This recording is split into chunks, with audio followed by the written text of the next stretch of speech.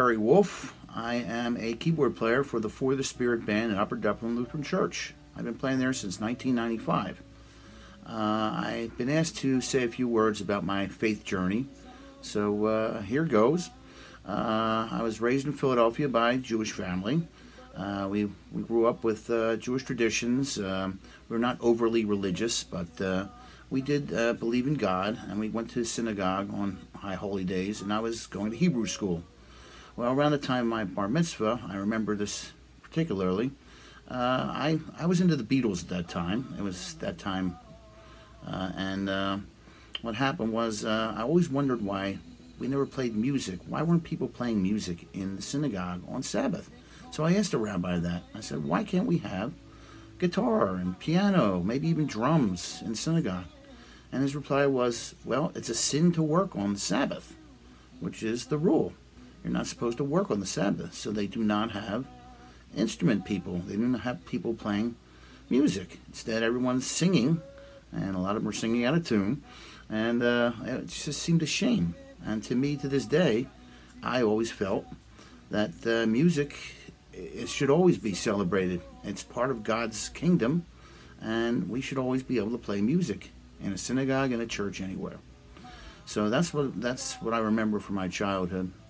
Later on in life, uh, when I was about to get married, I was pretty much uh, I wouldn't say atheist, but I was uh, I believed in God, but there was no religion in my life. My ex-wife at that time and my brother separately were trying to uh, uh, talk me uh, talk to me about Christianity because both of them were Christians, and I visited some churches. I liked what I saw. I liked especially some of the music that I was able to enjoy. Uh, I liked gospel music at that time, and uh, I still do. And uh, I liked some of the message. You know, it made a lot of sense. I went to some Bible studies with them, and uh, I learned a lot. But I still wasn't ready to commit. And uh, I had a daughter. around the time my daughter was two, I was at work. My ex-wife was taking care of her, and she was very sick so uh, she was having a hard time. She was coughing bad and wasn't breathing well. So the doctor said, bring her to the hospital. So my ex-wife got her into the car and started heading to the hospital.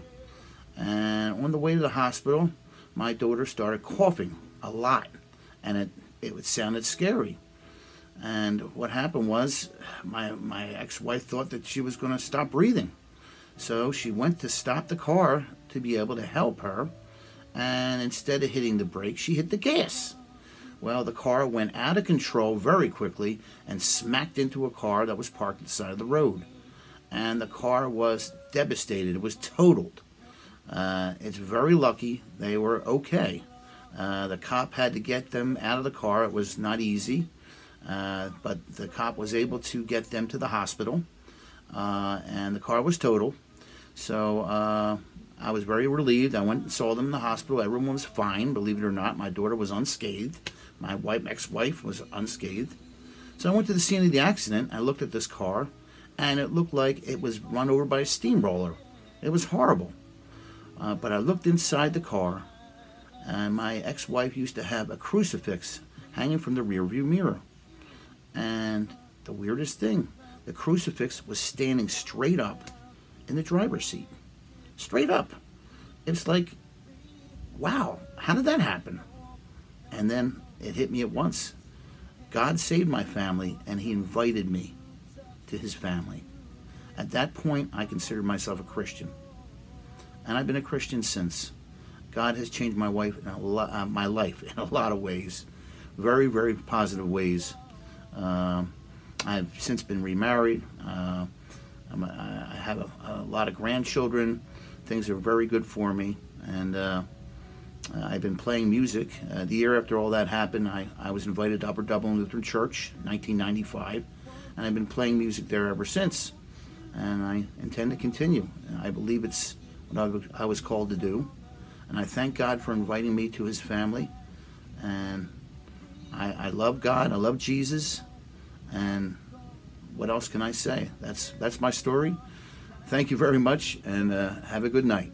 And soul, give me love, give me love, give me peace on earth, give me life, give me life, keep me free from birth, give me hope, help me cope with this heavy load, trying to touch, to reach you with heart and soul,